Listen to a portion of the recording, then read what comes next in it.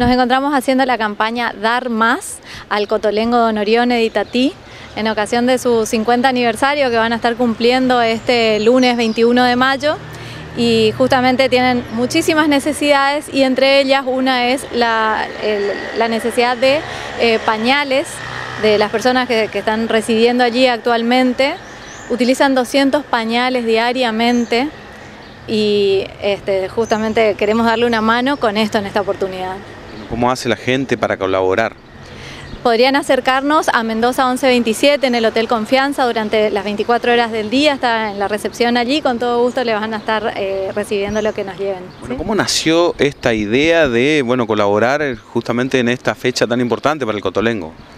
Nos pusimos en contacto con ellos sabiendo de que iba a ser su, cumpleaños y el padre Fernando Guevara, que es actualmente el director de la obra, que con mucho compromiso, vocación, con mucho amor realmente está haciendo su trabajo, nos comentó esta necesidad que están teniendo, entre otras cosas, como, como te decía anteriormente. ¿La ubicación del Cotolengo, recordás? Sí, se encuentra detrás de eh, la Basílica de Itatí, Niela y 25 de mayo.